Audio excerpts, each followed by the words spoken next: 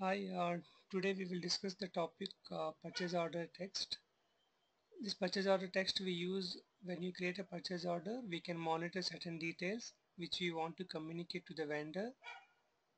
And also in the PO smart form, we can capture the details, what are the details we mention here that can be captured in the PO smart form. Already SAP standard has given certain purchase order text and also as per the client requirement if you want to create any new text today I will teach you how to create the new purchase order text. The configuration path will be SPRO then reference IMG material management then purchasing then go to purchase order. Under purchase order we can identify the text for purchase orders. Here we have two kinds of text. One is header text and item text. First I will teach you how to create the header text. See once I, click on that node you can see that option of uh, table is cross client see if you create any text in a golden client. For example if you have a different clients under the development landscape whatever the changes we do here that will affect in other clients also. Means if you make changes or if you want to create a new text that will create workbench request. Okay. See already there are certain texts are available. For example we will create a new text with sequence number 17 this will be learning text. Maybe just we will for our understanding. Then save. See you can observe here it has created a workbench request because it's a cross client.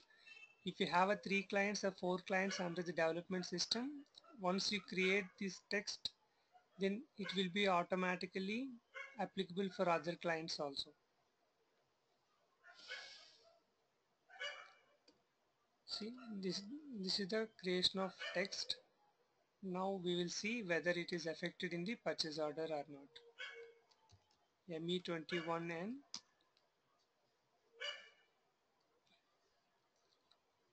in PO if you go to the text header text see here it is the learning text which was created by us. According to the smart form configuration when you work with ABAP we can make this learning text has to be visible in the print preview or not. Those things we can monitor. At the same way you can create item text also. For example I will create uh, this is also cross client. I can create 06 test item text. Save it will save in the workbench request. Now slash n me21n and uh, we can create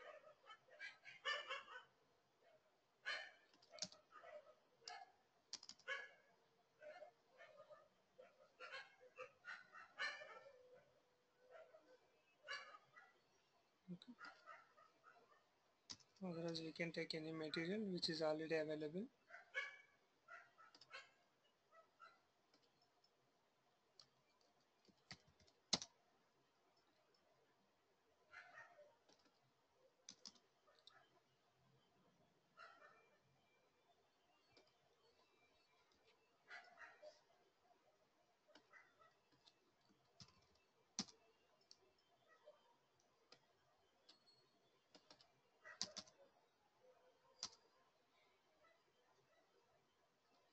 quantity 100 pieces. See now see the item text. See the test item text which was created by us which will be applicable here. Okay. This is the uh, basic process of creation of uh, header text or item text. And uh, you can maintain the respective details which you want to. Item text to communicate the text details. What are the things you want to maintain? You can maintain in the text and uh, which will be uh, useful as a communication. And also we can capture the respective details to the print preview of the PO also. Okay?